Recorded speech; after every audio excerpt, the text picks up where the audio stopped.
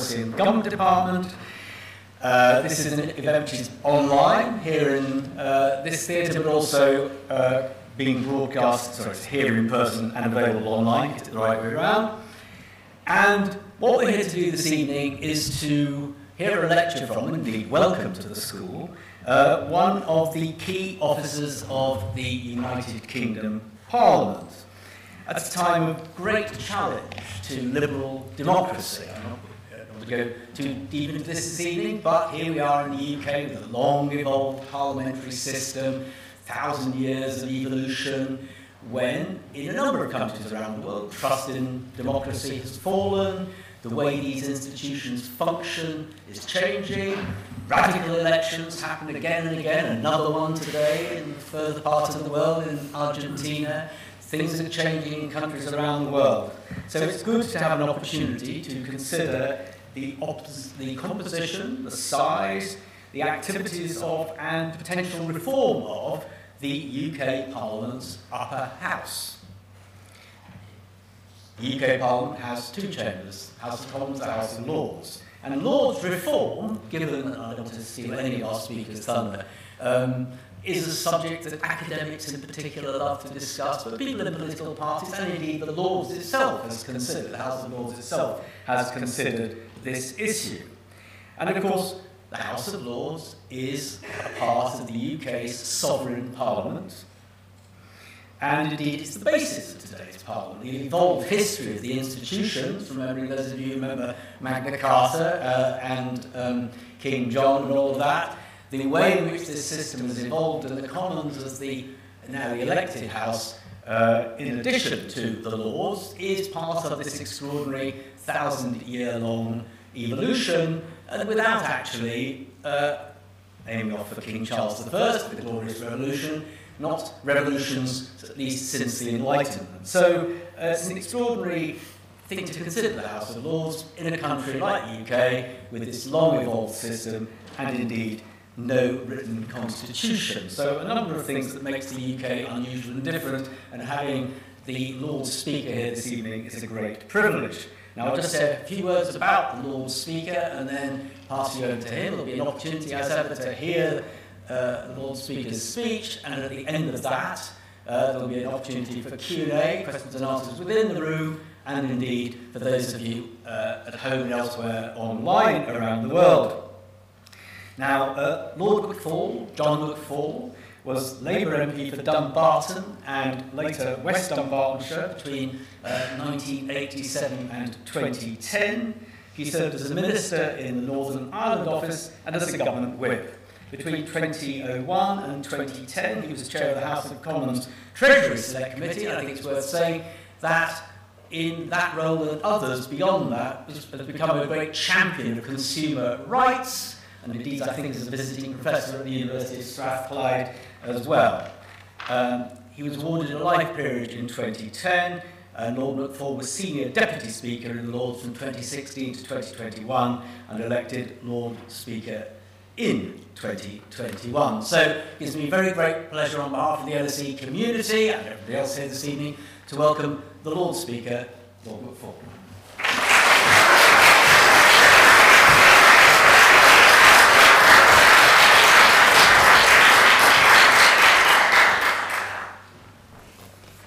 Thank you very much, Tony, for that kind introduction. It's not always I get a kind introduction, particularly when I was an MP for 23 years. Sometimes we get things thrown at us, but I know I'm in safe ground tonight. But it is a privilege to, to speak at a university with such a proud tradition of learning and innovation. And my respect for the London School of Economics is in part inspired by the work of William Beveridge, who was your director and authored the eponymous report which built consensus on the role of the state in post-war Britain. Although I left school early, I qualified through adult education, entered teaching and was a head deputy headmaster when I was diverted into my political career.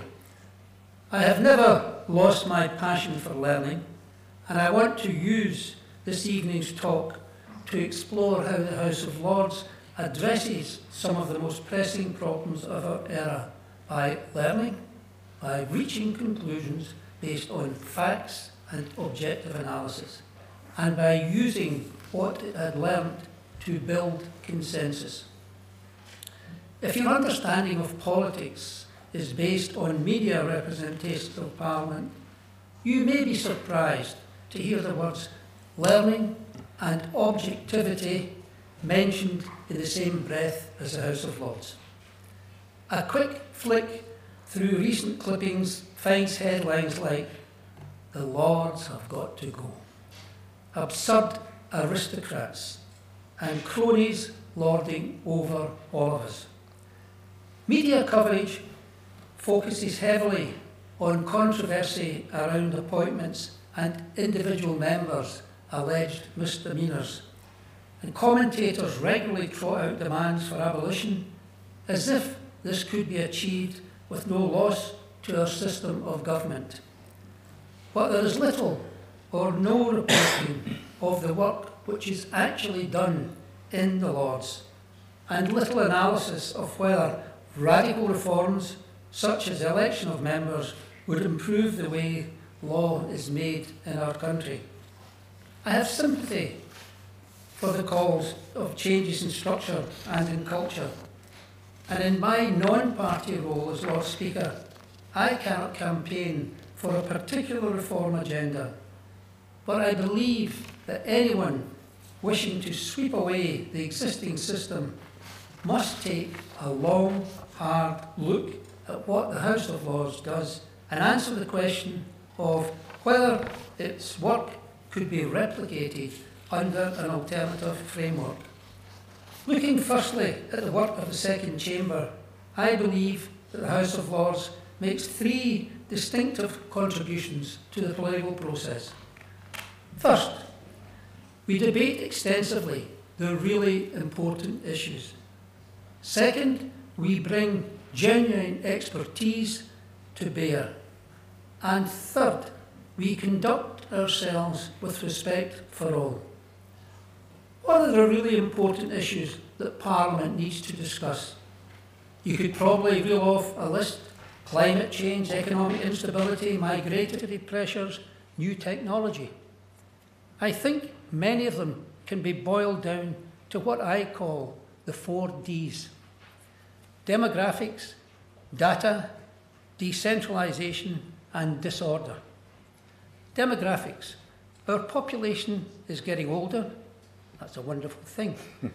but it means, particularly for me, uh, but it means increased demand for pensions, health care and social care. It means an increased burden on a smaller workforce of younger people who find themselves excluded from the access to housing, early retirement and generous pensions that were available to their parents' generation. Data The internet has been predominantly a force for good in our economies and in social connection, and AI promises further benefits. But both also bring big challenges, whether threats to jobs, mental stress caused by social media, loss of privacy and security, or fake news, undermining trust. New technologies have fueled the emergence of the three Ps in politics populism, post truth, and polarisation. Decentralisation. People rightly expect more say in their lives, and our centralised system faces pressure for the devolution of political, economic, and social power. While the rising cost of living in our capital has made it more attractive for many young people to build their lives and careers elsewhere, London still holds sway over much decision making for other parts of the United Kingdom. In disorder, over the last 30 years, many of the anchor points that ordered the world of the late 20th century have been uprooted. The market economy has struggled to deliver prosperity since the financial crisis of 2007. Capitalism is no longer seen universally as the rising tide that lifts all boats. The basic necessities of life have become unaffordable for many. Recent years have witnessed a retreat from globalisation, a return to protectionist policies, and the re emergence of armed aggression in Europe and now conflict in the Middle East.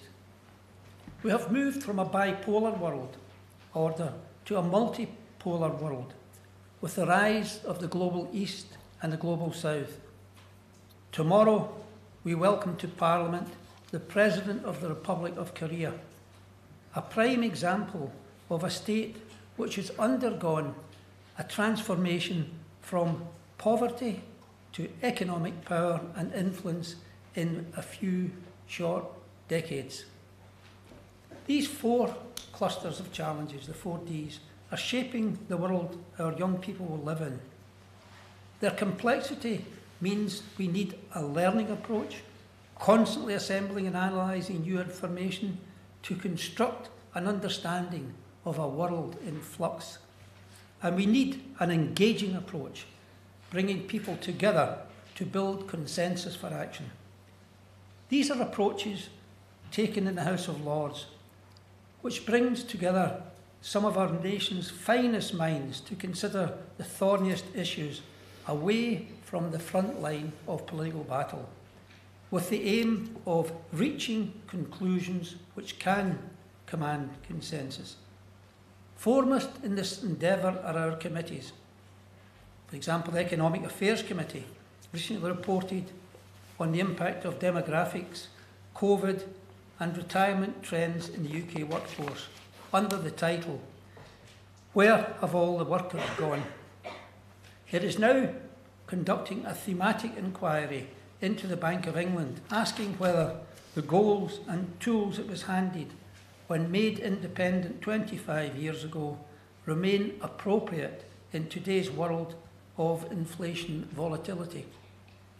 Other committees have investigated how government can ensure a resilient and affordable energy supply during the transition to net zero, or how we can draw up new rules to govern the use of AI in warfare, because we don't have that at the moment.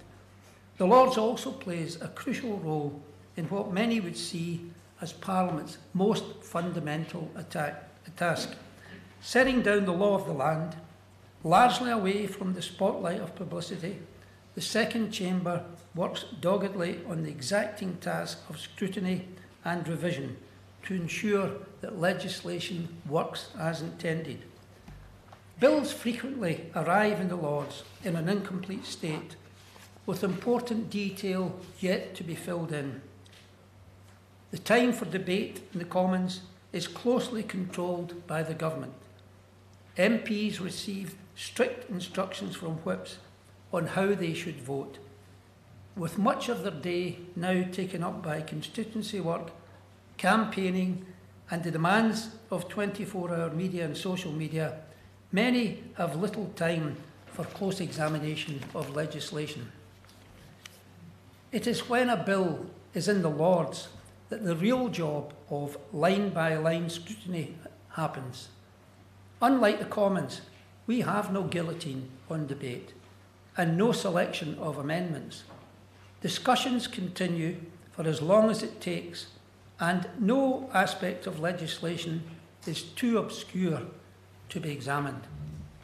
There is no overall party majority, so ministers must proceed by persuasion rather than the force of numbers. This scrutiny has a real effect on the laws which are passed by Parliament. In a typical year, there are more than 1,000 amendments made to government legislation in the Lords. In fact, there were more than 2,500 in the session just ended. About 100 of these each year are the result of government defeats in Lord's votes. These upsets grab most of the media headlines, despite the fact that many of them are subsequently overturned in the Commons. But a greater impact is arguably made by the thousands of amendments which are passed with government approval, many of which represent a minister listening to concerns and objections raised by peers and revising plans in response. It is this way that the House of Lords deploys its independence and expertise to address the most important long term issues facing the UK and building consensus around a way forward. In his recent book, How Westminster Works and Why It Doesn't, political commentator Ian Dunt describes the Lords as, and I quote, one of the only aspects of our constitutional arrangements that actually works. And he states that it is the independence and expertise of the Second Chamber that makes it so effective. What do we mean by independence? No party has a majority in the House of Lords, and a quarter of members, 180, are non party crossbenchers or non affiliated peers. Even members belonging to a political party have a measure of independence because they're generally not seeking promotion. These facts combine to make the House a forum for independent thought by those who have already achieved distinction in their careers. The red benches are home to eminent figures from all corners of the UK's public life. Scientists, doctors, captains of industry, and leaders of trade unions, campaigners for civil liberties and disability rights, environmentalists, academics, and engineers. Their presence is a reflection of the fact that the life of the nation does not reside only in political parties, but is also expressed through institutions and organisations of many kinds. The diversity feeds into the expertise of the House. The Lords offers a powerhouse of knowledge and experience that any private consultancy would charge huge sums to access. The Economic Affairs Committee boasts former Bank of England Governor Mervyn King, ex Cabinet Minister Helen Liddell, and Treasury Permanent Secretary Andrew Turnbull. The European Affairs Committee is chaired by former National Security Advisor Peter Ricketts and includes David Hannay, once the UK's permanent representative at the United Nations, and former MI5 chief Eliza Manningham Buller has been an active member of committees on security and technology. Some suggest that ministers get an easy ride in the House of Lords. Well, let me tell you that nothing could be further from the truth. One former minister who served in both houses told me the experience of being questioned by peers is much more daunting. In the Lords, grillings are administered by former Secretaries of State and leaders of the civil service, judges, ambassadors, European commissioners, ex heads of bodies like NATO or the Joint Intelligence Committee. These are people who know their subjects intimately and can cut straight through to the nub of any issue. The House of Lords has been described by constitutional expert Professor Philip Norton as, quote, an era, an arena for the discourse of civil society. Its ability to draw on the talents of those at the pinnacle of so many spheres of human activity is a precious outcome and resource which should not be squandered.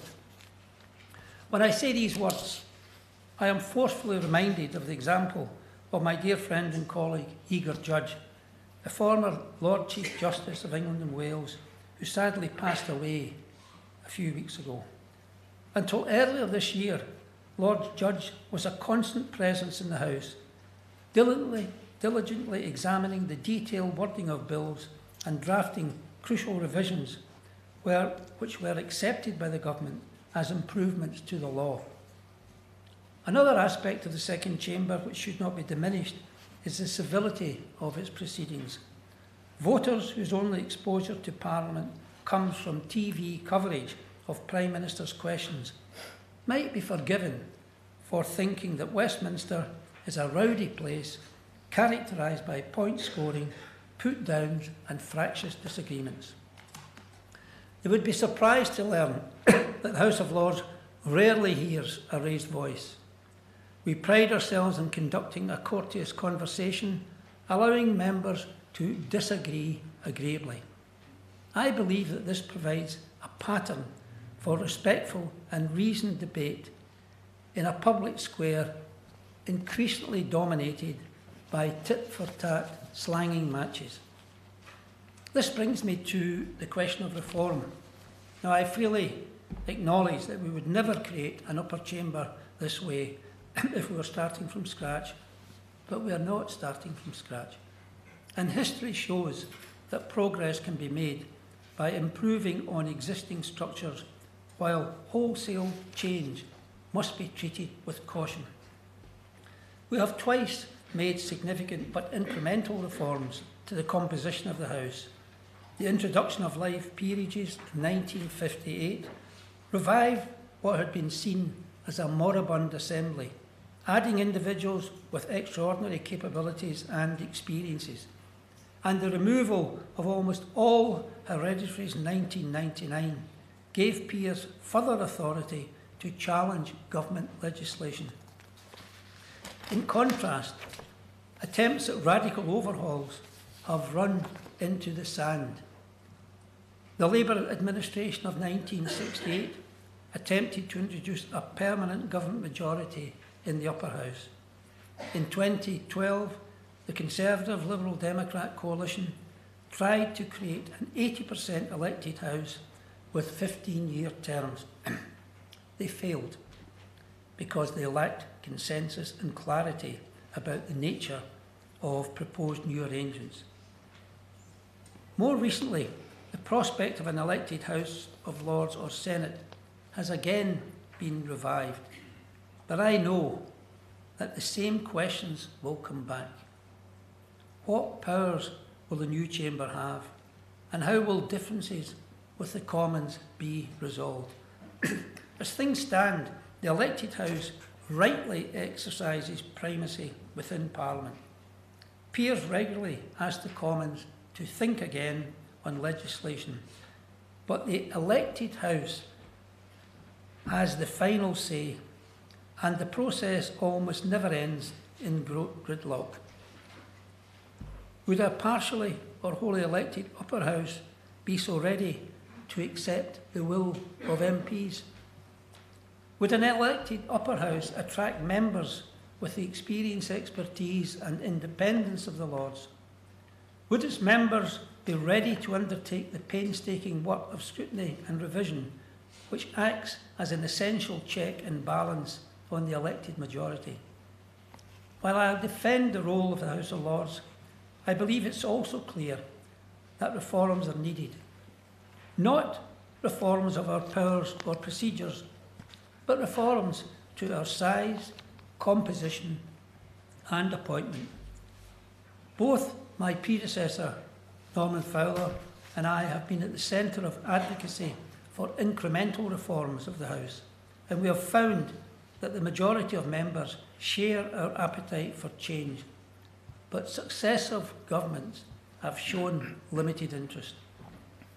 I fully support recommendations put forward by the Burns Committee in 2017, which would reduce the size of the House to 600. But recent Prime Ministers have sometimes been profligate with appointment when we should be operating a two out, one in basis. I've also welcomed debate on reforms to the appointment system proposed by members of the Lords. These include an end to the award of peerages and resignation honours lists, allowing numbers of hereditary peers to fall by ending the system of by elections to fill empty places, and increasing the power of the independent House of Lords Appointments Commission to vet Prime Ministerial nominees for merit and readiness to take part in the work of the House. One of the strengths of the UK Constitution is that it has been able to evolve to meet new external and internal challenges. Now is a time for evolutionary change. I have spelled out some of the challenges which I believe our political system faces. I do not claim to have the answers to these challenges. Indeed, I believe that many of the problems can only be made worse by politicians pretending to have quick solutions. However, my experience as chairman of the Commons Treasury Committee and a member of the Committee and Commission on the Future of Banking, which I established following the financial crisis, taught me the value of certain principles. what are these? First, civic engagement. To get the broadest possible range of opinion and insight to inform our proposals for the future of banking, we spoke to not only politicians and advisors, but to bankers, external economists, and consumers. Next, a long term perspective. We need solutions which would last and be flexible enough to respond to developments in a rapidly changing industry. And last, the consensual working. As a Labour MP at the time, I had a deliberate policy of reaching out across the party divide to involve senior members of the Conservatives and Liberal Democrats and ensure our proposals had broad based support which would survive, survive changes in government. Often, the obstacle to addressing complex issues is the difficulty we have in working productively together. On too many key issues, we all know the broad direction of travel, but we fail to unite behind taking the necessary steps. Yet these are the core tasks of politics and politicians. We need collaboration, shared learning, and action at all levels. My concern is that a political system driven by five year electoral cycles and regular reshuffling of ministers can mean that politicians are rewarded for novelty and the appearance of activity rather than the policy stability that delivers long term gains. The party battle can mean that the work of finding agreement on long term goals takes second place to the search for wedge issues, which may deliver a momentary advantage over your rivals. There is a place for the contest between the parties which characterises the elected House of Commons. But there is also a place for the consensus driven approach often seen in the Lords. This builds the kind of trust which permits open minded analysis of the choices ahead of us and improves the chance of agreement on the best course of action. Isn't this a process of education in the broadest sense of the word? In our increasingly fractured society, we need to learn again how to get along despite our differences. Indeed, we need to learn how to prosper from our differences. I think again of Lord Judge, who instead of disparaging opinions which diverged from his own, would say, How interesting that you take a different point of view on this issue. Let's explore how that comes about and what possibilities arise. And my conclusion is that the challenges facing us are complex, and it is incumbent on us as politicians to consider not only what we need to do, but how we should go about the task. Our approach must involve engaging civil society so that we learn from devolved and local government businesses, workers, academics, charities, and community organisations. Secondly, taking a long term perspective, developing programmes that can evolve as technological and demographic change works through. And thirdly, shifting our political culture so politicians feel they will be rewarded at the ballot box for tackling the big issues in a sober and meticulous way. Now, none of this will happen unless we build trust and mobilise consent. What are the key tools for this task? I see a few possibilities, but I'm sure you can add to the list. Some are structural, for example, reforming the House of Lords to boost the credibility of the part it can play, increasing the outreach from Parliament to civil society, as Ireland has done with civil assemblies, citizens' assemblies, and making greater use of consultation and pre-leg scrutiny, pre-legislative scrutiny to ensure bills are fit for purpose. And more post-legislative scrutiny of the kind the Lords undertakes when it looks back at an act several years after it has become law, to see whether it has had the intended effect. In the new session of Parliament, which has just begun, we are establishing two special inquiry committees, which don't exist in the Commons, to investigate how the Inquiries Act 2005 and the Modern Slavery Act 2015 have worked out in practice. Other potential changes are cultural. This could involve nurturing interparliamentary links and mutual respect between Westminster and the devolved assemblies. One of my first acts as Lord Speaker was to visit Edinburgh, Cardiff, and Belfast and establish an interparliamentary forum in which the devolved institutions meet and speak with the Commons and Lords on an equal footing.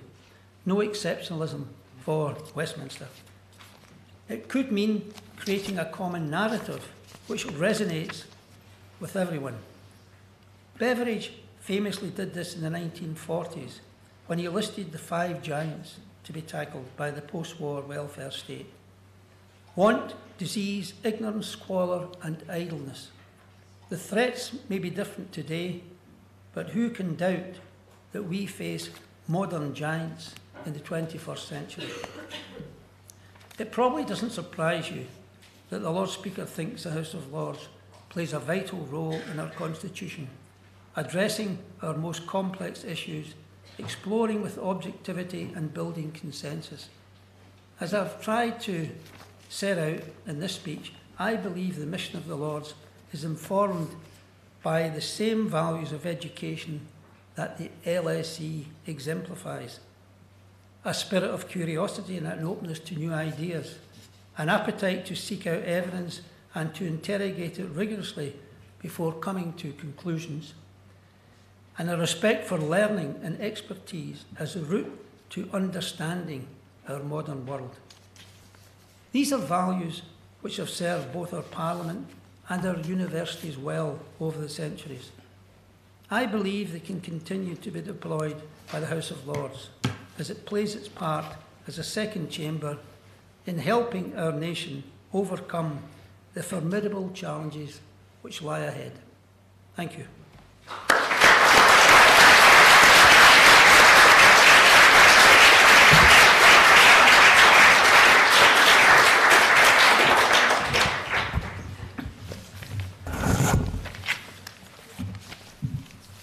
Okay, well, first, uh, thank you for a, an elegant tour of the horizon of not just the House of Lords' considerations and your considerations about its future, but also the broader challenges that democracy in this country, government in many countries face. Just one, add to one thing, one point you made earlier, which I'm sure everybody in the room knows this, but I think it's an interesting difference between the Commons and the Lords which is that the House of Lords has cross-benchers. Now, you were a party politician before you went into the Lords. Norman Fowler, your predecessor, was a conservative, senior and distinguished conservative politician. But the Lords has, and I think a lot of the ex-diplomats and others that you mentioned would actually not take the party whip. They'd sit as crossbenchers. Can you say a little bit about how that affects the dynamics, given that you were in the Lords you're in the Lords now and it's chair, effectively, but we're in the Commons for many years as well. Yeah. Thanks very much, Tony. Uh, the number of crossbenchers in the Lords is about 180. What does that mean? It means that no legislation uh, in the Lords uh, can successfully gets, gets passed or any votes without the crossbenchers. So that's the first thing, and that's what's different from the House of Commons. Uh, the composition of the, the Lords is different from the House of Commons. And if you like, the House of Lords uh, is complementary to the work of the House of Commons. And I think those are the biggest uh, issues with mm. crossbenchers. But crossbenchers bring wide experience. I'll give an example. When we were discussing Brexit, the European issue, Article 51 came up. You remember that infamous article, you know, when do we tell uh, Europe to go, to get lost? Right. So we were debating it in the House, and someone was waxing away about Article 51. And then Lord Kerr of Kinlochard, our man in Europe, stood up and he said, I can tell you about Article 51. He said, because I wrote it. and he says, and by the way, he says, I wrote it with this pen. so that's what you call experience. Yeah. And he's a crossbencher, and that's what crossbenchers bring. Yeah. Building on that, you, you mentioned the civility. Now, actually, I mean, the House, I was thinking, I take your point about the House of Commons. Many of us many people around the world watch, you know, prime ministers' question time and sort of build their view of the House of Commons on the basis of that. But as we know, and we all know, actually, most of what MPs do is not like that. But actually, even the House of Commons, in some way, these days, is less confrontational, less likely to, to you know, dip into the complex world that's fought out on Twitter or X every day. And this, the, the House of Lords is even more reasoned, and indeed, so my question is, is it sort of, and forgive the pun here, peer pressure? That is, thank you, when you're in the House of Lords, when one becomes a member of the House of Lords, in a sense, you in, enter an institution where a particular way of behaving and discussing things and arguing politely or in a way that isn't deliberately aggressive simply becomes the thing that helps you get through the system and have any influence? Well, I was an MP for 23 years, as you know, and I was happy to take part in the ideological debates. Mm. In fact, Michael Forsyth, who's Secretary of State for Scotland, and him and I shared the boundary uh, in Loch Lomond.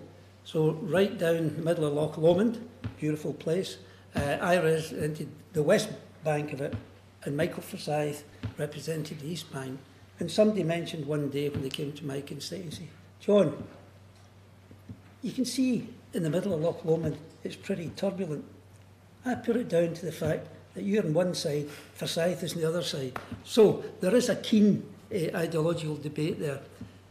My friends were saying to me when I stood down in 2010, uh, don't go into the House of Lords because it's different, it's boring, uh, and you've lived 23 years in the House of Commons and you'll not get any satisfaction out of it. but I went in all the list. Gordon Brown asked me to go in, uh, given the 10 years I had as chair of the Treasury Committee in Economics and Finance. And I undertook a psychological change. In other words, my voice wasn't as strong as it was in the House of Commons. And if you like, in the House of Commons, I gave my opinion, irrespective of what somebody wanted. But in the House of Lords, I was asked for my opinion. And it's that gentle change that's there. And if you can accept that, it's very important. I mentioned that Gordon Brown put me in uh, a couple of years after that. Uh, the Parliamentary Commission on Banking Standards was established, David um, Cameron.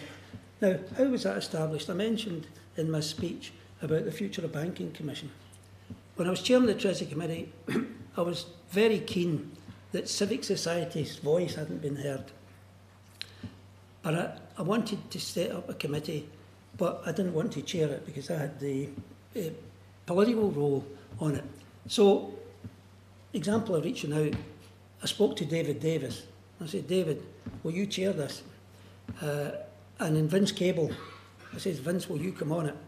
Uh, we got them, but we also got experts in finance and uh, other areas. In fact, we had a Benedictine monk who was an advisor in ethics, and he was the most troubling of all.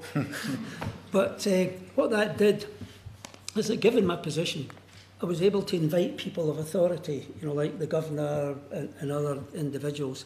And we made a report you know, based on the civic engagement. That uh, led to it being given to David Cameron just before the election. And as a result of that, the Vickers Commission was established. Uh, then the uh, Parliamentary Commission for Banking Standards was established. And that, from the House of Lords, had Nigel Lawson, dearly departed. Uh, we had the Archbishop of Canterbury, and we had David uh, Turnbull, Andrew Turnbull, on it. There were members from the House of Commons, and I well remember the chair, Andrew Tyrie, writing to me at the time. He says, John, we have not been able to get some of the legislation accepted by the House of Commons. It's up to yourselves. Well, with that, Nigel and others ourselves, we got the amendments passed because we've no guillotine. Yeah. So we could uh, discuss things for quite a long time. So it was that consensual approach with the House of Lords and the House of Commons that delivered that, and that changed legislation uh, as a result of it. So that was civic action uh, working. Great. Okay, enough from me here now. Um, questions from the audience? I'll take one in the middle there and then one here. Take three. In fact, I'll take one gentleman behind you and then here, and I'll come over here. So, yes, there. Then, if you'd like to say who you are, Feel free and where you come from, but don't feel you've got to. I'm Hattie Simpson. I'm an A-level student from Hertfordshire. Uh, a lot of the benefits you've discussed of the House of Lords could largely be largely be explained by the lack of reform of the House of Commons. To what extent is there an argument for actual radical reform of the House of Lords, but for that to succeed, radical reform of the House of Commons and the electoral system first? Okay, so that just to check I've got the question that the the it says the question of Lords reform hangs on the Commons' own reform, and that that would be a pre almost a predeterminant of the Lords' capacity to reform. Okay, great question. Gentleman Uh, behind. Kumar. Um, uh, David Cameron, uh, Lord Cameron, is going to be performing his role of this great office of state from the House of Lords. Um, what are your thoughts on that, given that it's an unusual occurrence, and how he can perform that role effectively and be scrutinized effectively from that chamber? Yes, in, in history, having members, and Lord Salisbury, of course, was Prime Minister in the House of Lords, Yep, but I think yep. he was the last person who was. But it's, it's a great question. And, and oh, well, I'll take the two of you. No, and you as well. I'll take the two of you. Go on. Uh, hi, I'm Desi. I'm a first year law student. Um, I think you mentioned in your speech if we were to come up with a structure of Parliament today, that there wouldn't be a House of Lords. Um, I guess what would have happened alternatively? Okay, so again, so the, the question sort of being is, yes, well, I'll, you, it's a clear question, why should I repeat it? Very good, and the guy in front. Hi, I'm Sixto from Argentina. It's quite similar to the other questions. Uh, what changes would you like to see in the House of Lords? Changes, okay. What changes Okay. would you like to see in your country after today? Right, Well, it's a new dawn, as somebody Yeah. once said. good. Okay. Right, okay, uh, first one, the uh, parliamentary focus. I believe our whole system needs to be looked at. I believe the House of Lords, uh, obviously, it needs that. Example of the House of Lords, uh, our appointments pr- uh, process. I mentioned with crossbenchers and independent members.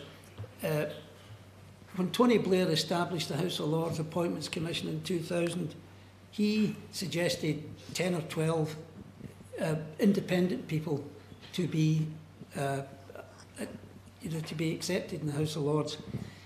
David Cameron, for whatever reason in 2010 or 2012, asked the House of Lords Appointments Commission to limit it to two, with the result that in the first 12 years, uh, there were 59 peers uh, appointed. But in the next 12 years up to now, uh, there are 15. And that means there's a deficit in experience as, as we go on. So that's the first thing I would do. And I'd put the House of Lords Appointments Commission, uh, or I would rather, as Lord Speaker, I can do anything, but I would suggest a good debate on the House of Lords Appointments Commission being a statutory body and been independent. Secondly, the hereditary peers. If we're going to reduce the size of the House of Lords, the hereditary peers stand out in that their numbers will never uh, go lower because we've got by-elections there. So it will remain static and that has to be treated like others. So therefore, looking at the abolition of by-elections for hereditary peers, uh, I think is something worthwhile because you get, if you like, the ludicrous situation where you have a contest for elected peers and it would have a constituency of three voting members, you know, right? So something like that uh, has to go. So that's just for starters with those points uh, on that. So coming from Scotland, I'm very much aware of the debate on devolution. And in fact, I was on the Scottish front bench in opposition in the 1990s when we had the Constitution and campaign for the Scottish Parliament on that. And I'm also very conscious that the House of Lords is seen as a South East institution. It isn't seen for the whole of the United Kingdom. And that was why my first act as Lord Speaker was to visit Belfast, Edinburgh and Cardiff. And the Interparliamentary Forum we have at the moment is a springboard for further engagement, engaging each other eye to eye. To give you an example, uh, Tony mentioned I was in Northern Ireland for a while. But before that, I was on the British Irish Parliamentary Body, which was established in the 1980s. And what did we do in the British Irish Parliamentary Body? We had a good chat with each other. We looked at things, at informal negotiations.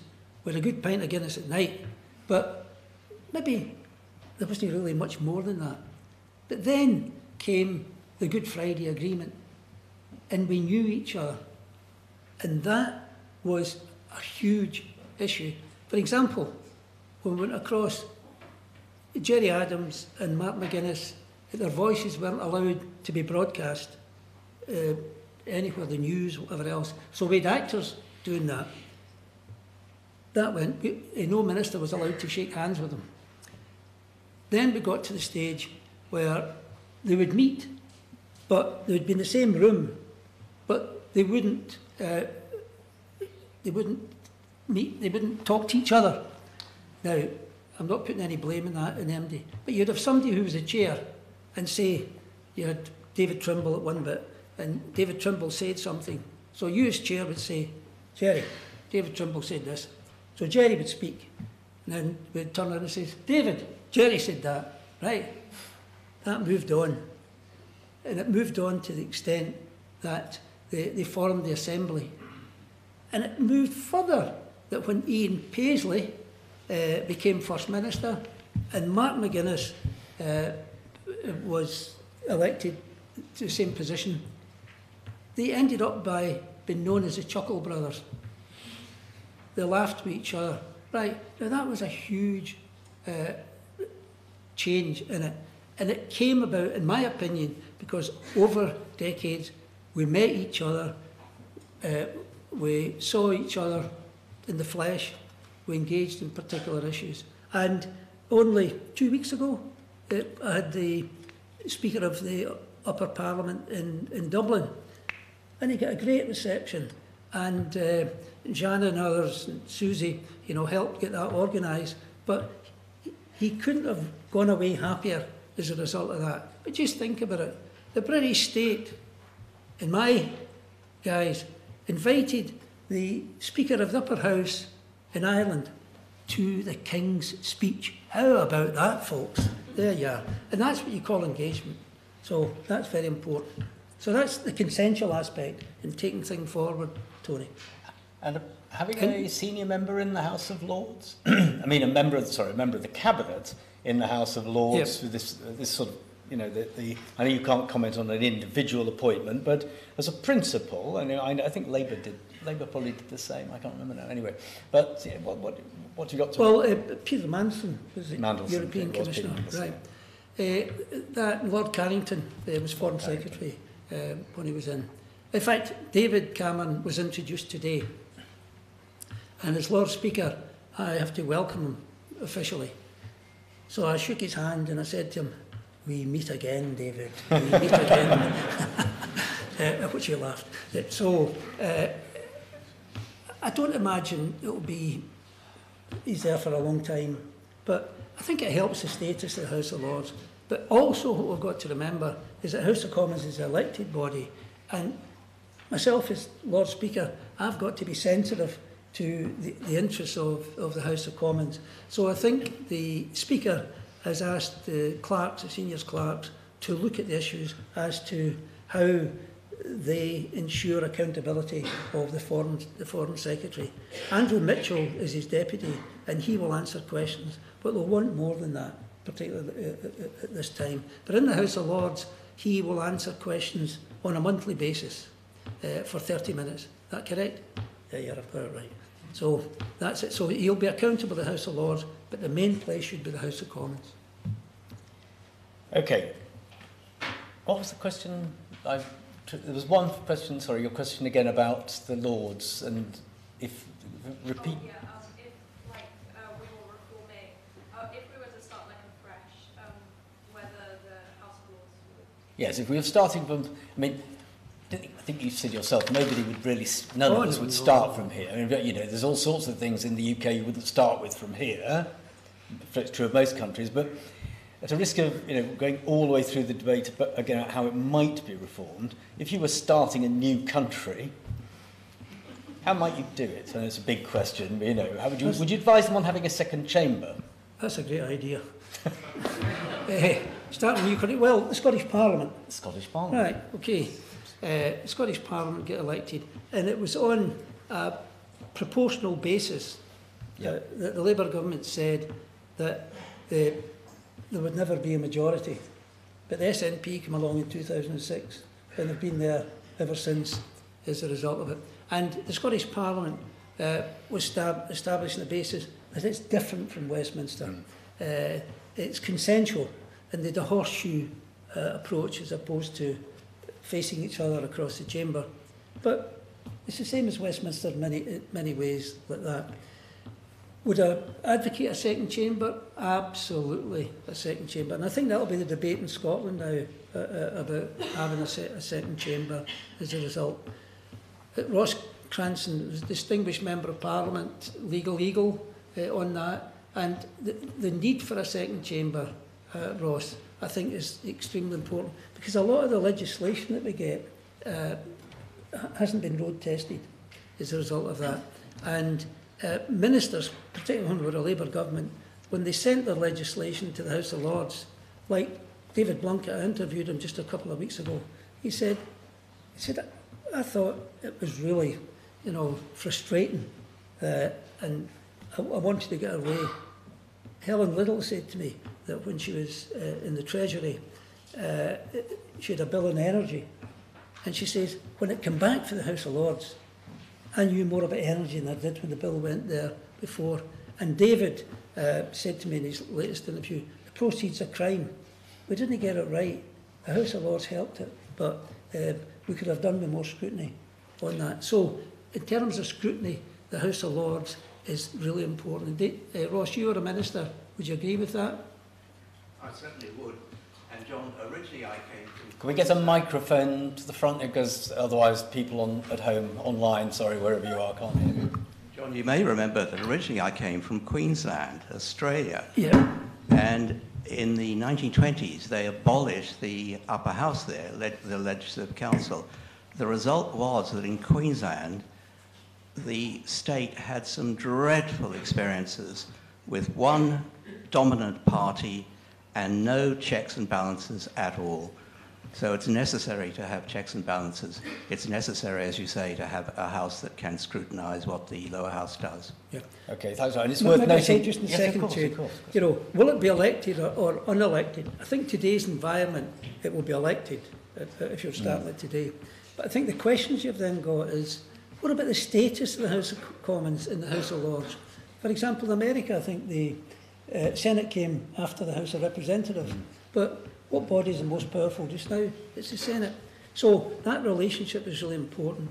The method of election is important as well. First past the post for the House of Commons. Uh, uh, the other, what is it, the electoral, what do we call it? Proportional representation, there you are. Proportional representation for the House of Lords. Right. They come to different uh, views. Say Brexit. House of Commons votes for Brexit. Mm. House of Lords doesn't vote for Brexit. So these are thorny questions that really need to be looked at. And if I could sum up the essence of my speech tonight and the strapline, it would be seek to understand. It's worth noting that of the three countries in the world that don't have a codified, some would say written constitution, the UK is the only one of the three that has a second chamber, interestingly. The other two are unicameral, I think. Mm-hmm. Anyway, I'll take a question online. Uh, bring the, because uh, then we're going to run out of time, but yeah. Hi, uh, my name is Kay, and I'm going to be reading out some of the questions online. Um, we received quite a few questions, so in the interest of time, I'm only going to give you two. Thank you. Um, the first one comes from Kamil Jonski, who's online from Poland.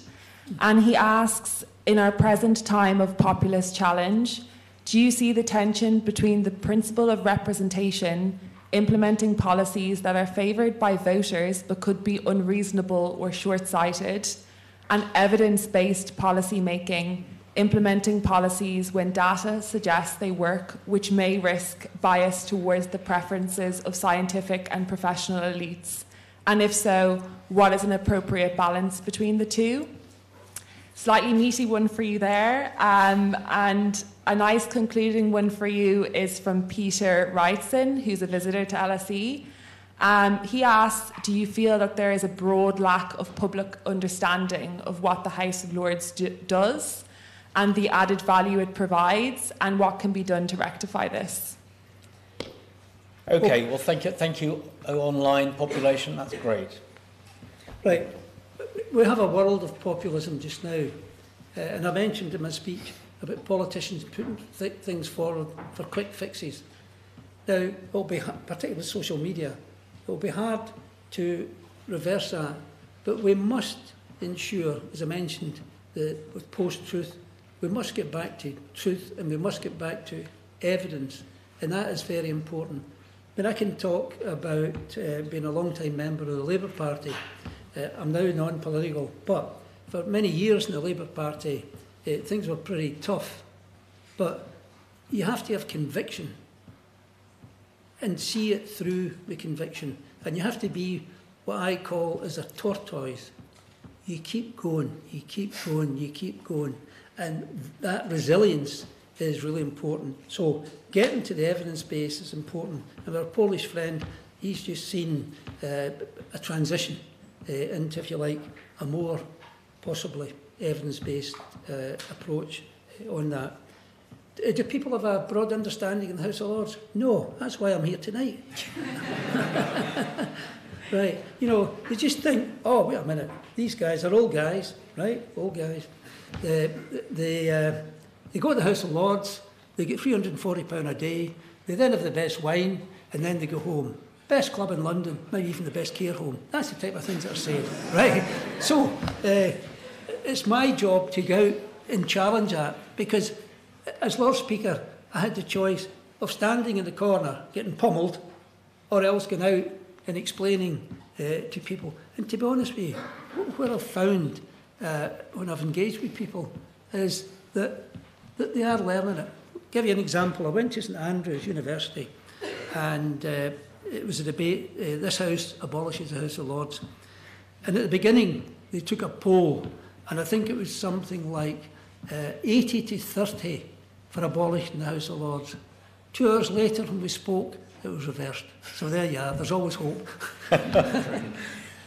I'm afraid we need to come to a close. It's half past seven. Um, before I just, uh, you know, give you a formal vote of thanks, I just um, I'd like just make the point that it's um, excellent, given the Parliament as a whole and the sovereignty of Parliament is much discussed, discussed in the United Kingdom, came up a great deal during the um, Brexit debate, whichever side people were on, it came up a great deal.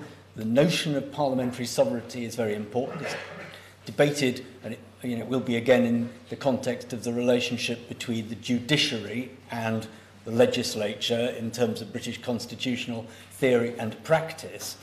And um, the great thing about, if I may say so, the UK version of democracy is that MPs and peers do go out and make the case uh, and um, you know, make the case for, either directly as a debate or separately by their presence, why the capacity to meet people who are involved in this system and make your case to them directly. It's a case for all elected representatives, and indeed in the UK's case the Lords, and for also for local government as well. So it's, a, a, I think, a most important element in the way we talk about not just the normal day-to-day -day business of what politics is deciding, but secondly, how we do that. Good. So, yeah, Tony, could I just yes, say, please, the, the question of evidence-based, right? I remember the uh, referendum in Quebec in the 80s, I think it was, right? And they voted, came out. There was debate afterwards. And then what they introduced was the Clarity Act. And understand, they're trying to understand, what did we vote for? In other words, put meat in the bone as a result of that. And I mentioned our post-ledge committees.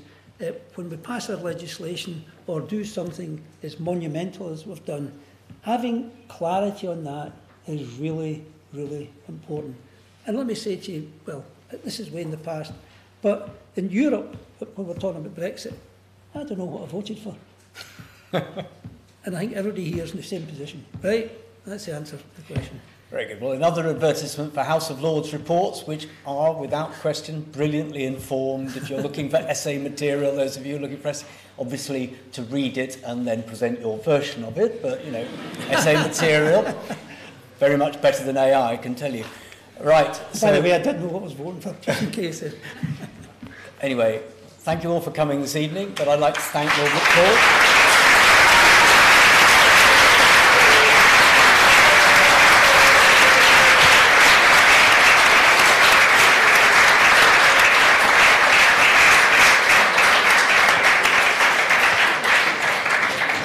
Read LSE events um, promotional material and come to other events soon, or follow Lord McFall soon.